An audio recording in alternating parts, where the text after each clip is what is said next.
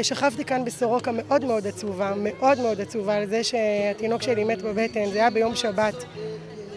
לא היה דבר יותר עצוב מזה, אבל פתאום בכל העצב הזה מגיע אליי המלאך הזה, אה, ביום בבית, עוזב הכל ומגיע, ואין בינינו שום היכרות ושום קשר, ואתה מגלה שאתה לא לבד, ומתוך כל העצב הזה הוא אה, מזריק ככה זריקות של תקווה.